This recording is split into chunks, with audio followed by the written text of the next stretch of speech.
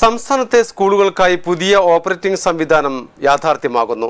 സ്വതന്ത്ര ഓപ്പറേറ്റിംഗ് സിസ്റ്റമായ ഉബുണ്ടുവിന്റെ പുതിയ പതിപ്പ് അടിസ്ഥാനമാക്കിയാണ് ഓപ്പറേറ്റിംഗ് സിസ്റ്റം തയ്യാറാക്കിയത്. സ്വകാര്യ കമ്പനികളുടെ സോഫ്റ്റ്വെയറിന് പകരം സ്വതന്ത്ര സോഫ്റ്റ്വെയറാണ് ഉപയോഗിക്കുക. ഇതുവഴി മൂവായിരം കോടി രൂപയോളം രൂപ സംസ്ഥാന സർക്കാരിന് ലഭിക്കാനാകും. പ്രൈമറി ക്ലാസുകളിൽ പഠനം എളുപ്പമാക്കാനുള്ള ഗെയിമുകൾ മുതൽ ഹയർ സെക്കൻഡറിയിൽ പ്രോഗ്രാമിംഗ് പഠനത്തിനാവശ്യമായ പ്രോഗ്രാമിംഗ് ഭാഷകൾ വരെ ഉൾപ്പെടുത്തിയിട്ടുണ്ട്. Kerala infrastructure and technology for എഡ്യൂക്കേഷനാണ് operating system തയ്യാറാക്കിയത്. കുട്ടികളുടെ ആവശ്യത്തിനും ഉപയോഗത്തിനും അനുസരിച്ച് മാറ്റം വരുത്തിയാണ് എല്ലാ സോഫ്റ്റ്വെയറുകളും ഉൾപ്പെടുത്തിയിരിക്കുന്നത്. ഇതിനു പകരം ലൈസൻസ് വേണ്ട സ്വകാര്യ സോഫ്റ്റ്വെയർ ഉപയോഗിച്ചിരുന്നുവെങ്കിൽ ഒരു കമ്പ്യൂട്ടർ മാത്രം ഒന്നര ലക്ഷം രൂപയോളം ചെലവാക്കേണ്ടി വരുമായിരുന്നു. കൈറ്റിലെ അധ്യാപകരും സാങ്കേതിക പ്രവർത്തകരും അടങ്ങിയ ടീമാണ് ഓപ്പറേറ്റിംഗ് സിസ്റ്റം തയ്യാറാക്കിയത്.